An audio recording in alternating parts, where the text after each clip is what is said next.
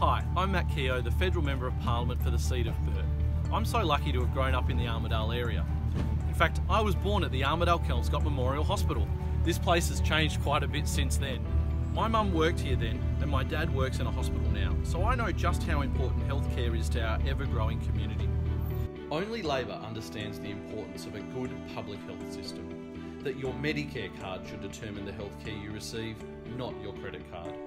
That's why Bill Shorten has announced that a Labor government will make the most important investment in Medicare since Bob Hawke created it a $2.3 billion investment to slash out of pocket costs for cancer patients. This will mean millions of free scans, millions of free consultations, and cheaper medicines for cancer patients.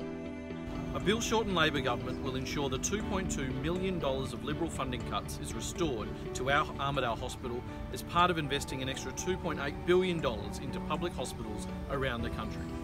This targeted funding will reduce emergency department and elective surgery waiting times, which have blown out under the Liberals' cuts to hospitals. It's all part of Labor's Fair Go action plan.